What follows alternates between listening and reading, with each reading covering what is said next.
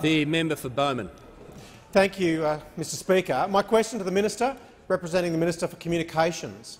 With the two Koala Corridor suburbs of Mount Cotton and Redland Bay due to be connected to fibre to the node by year's end, attention has turned to HFC rollout that will serve eight of the other 12 mainland Bowman suburbs. Uh, Minister, could you update us, please, on the technology that is being considered, on the rollout timetables and the prospects for HFC in Queensland?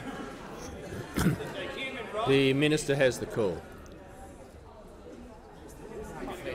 Well, look, uh, I'm very pleased to get this question from the member for Bowman, who's uh, a fine advocate for his electorate. And of course, I'm very pleased that we have so many assiduous advocates on this side of the House who are asking questions about the services that are being delivered over the national broadband network.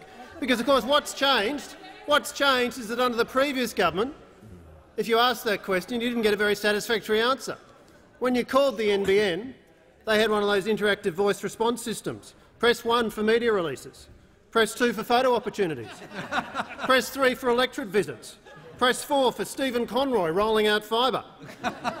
Press 5 for other election campaign stunts. Press 6 for Julia Gillard in a high-vis vest. That was what NBN was doing. That was what NBN was doing under the previous government, but under this government, NBN is delivering. NBN is rolling out, and NBN is rolling out in the electorate of Bowman. As the member rightly asks, not only are we rolling out fibre to the node, we are also rolling out HFC, hybrid fibre coax. Now, these were the networks that Labor was proposing to trash. They were going to completely destroy these networks that passed over 3 million premises around Australia that are perfectly capable of delivering 100 megabits per second. In fact, there's an upgrade path to 1 gigabit per second. But Labor's plan was to trash these networks. We are taking advantage of them, and indeed, in the electorate of Bowman, there are 61,000 premises now in the three-year rollout plan, including both fibre to the node and HFC. And so, in the members' electorate, construction has already commenced on fibre to the node, over 6,200 premises in the Redland Bay and Carbrook areas, and there are 61,000 premises included in the three-year rollout plan. So under the previous government, NBN was essentially driven by